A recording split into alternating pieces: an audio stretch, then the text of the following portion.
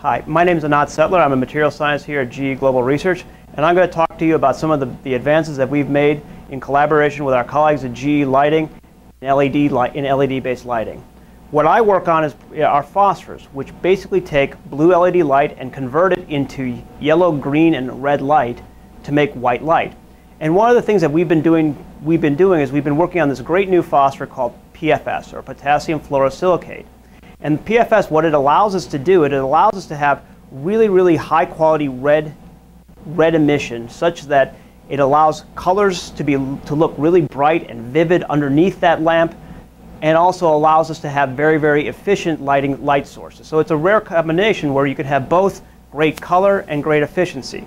We've gone through and done a lot of things starting from the invention and use of this material to trying to figure out how to stabilize it and make it really work for the long periods of times that are necessary for new LED light sources.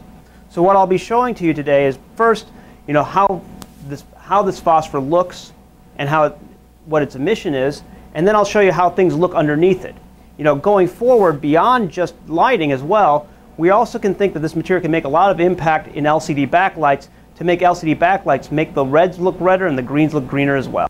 So what, I'm, what we're showing here, this is, the, this is the PFS powder as we make it here at GE.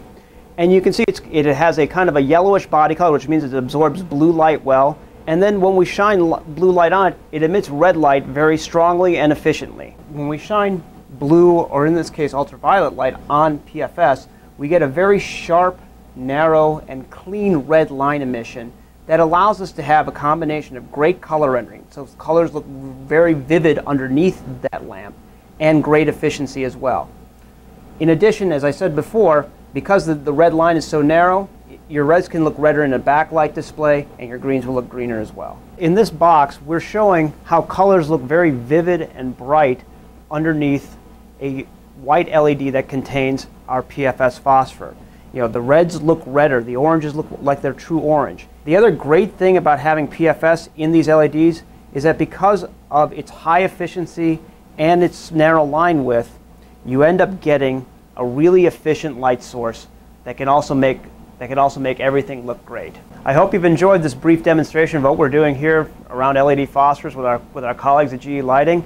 You know, I look forward to be able to introduce more products and things in the future and hope you get to use them as well. Thanks a lot.